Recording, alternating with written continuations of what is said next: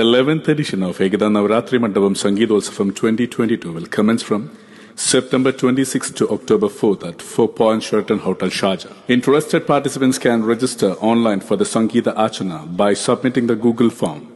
The last date for the submission is 31st of August 2022. So don't miss this wonderful opportunity to showcase your artistry in Carnatic music.